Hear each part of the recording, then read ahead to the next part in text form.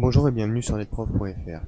Donc aujourd'hui nous allons voir comment euh, avoir accès à euh, une, une, option de Windows qui permet justement de d'avoir accès à tous les euh, enfin une majorité des paramètres sous Windows, c'est-à-dire d'être complètement omniscient sur son PC.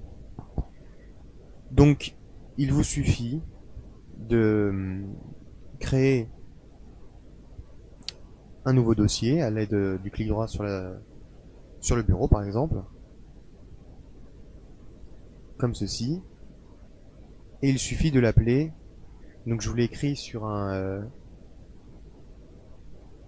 un bloc-notes pour euh, pour que vous puissiez le réécrire, donc j'ai aussi grossi les caractères, donc il faut absolument que ce soit comme ceci, donc avec les points ici, ainsi que les accolades. Donc euh, bah, vous mettrez la vidéo sur pause euh, pour écrire.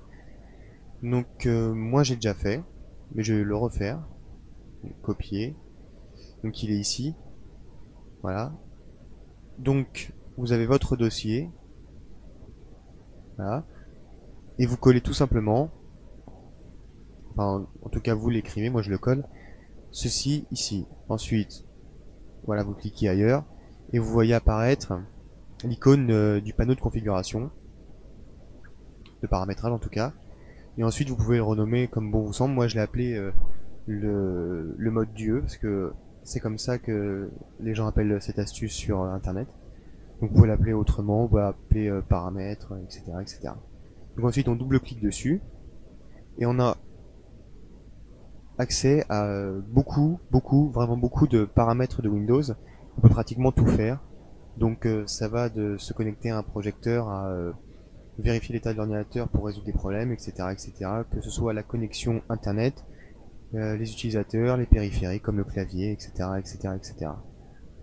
Donc ça peut être très très pratique. donc c'est à vous de voir, à vous d'explorer et, et d'utiliser ça à bon escient. Voilà, donc j'espère avoir été assez clair et je vous dis une prochaine fois sur netrof.fr. Au revoir.